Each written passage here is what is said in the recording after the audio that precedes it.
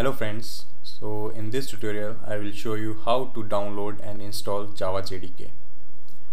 So before we begin, if you want to check whether the Java is installed on your PC or not, all you have to do is open command prompt and type in this command java hyphen version and it says Java is not recognized as an internal or external command which means Java is not installed on your PC so close it. All you have to do is open the web browser and type in java jdk download.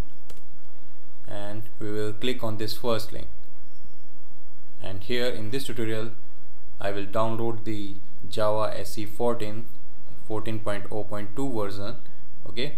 And I will click on this link JDK download. And here we will scroll down and we will download the Windows x64 installer. Okay? So click on this checked and download.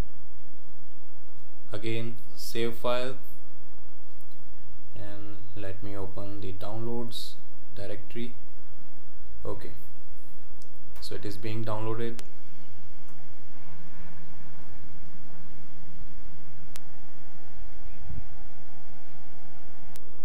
okay so now the download is complete. So now what you have to do is double click on this downloaded file.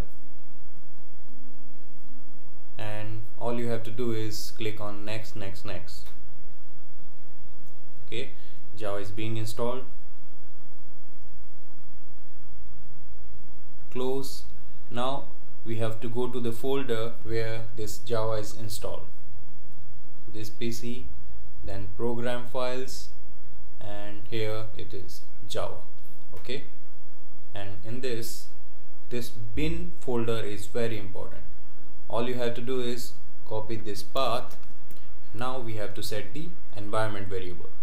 So press the windows key and type in env okay? And make sure you click on this edit the system environment variables okay then click on environment variables. And now in the system variable section okay select path and click on this edit button. And all you have to do is double click and paste the path over here. And click on this ok button again and ok.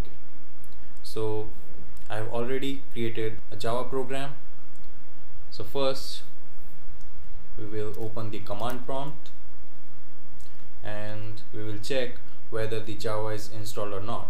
So type in java hyphen version.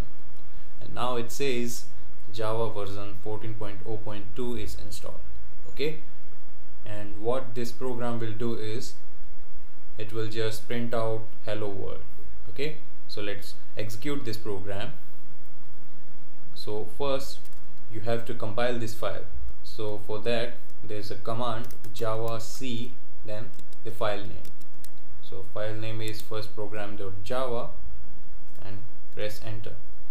And now it has created a dot class file okay?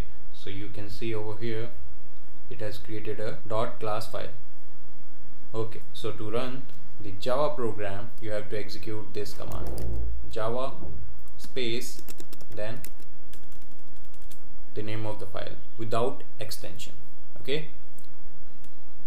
And now it printed hello world okay? So now you can create and execute your java programs. Thank you so much for watching this tutorial